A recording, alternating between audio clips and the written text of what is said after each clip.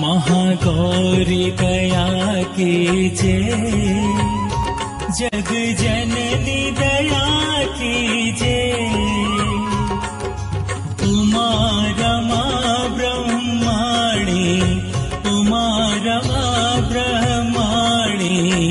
अपनी शरण लीजे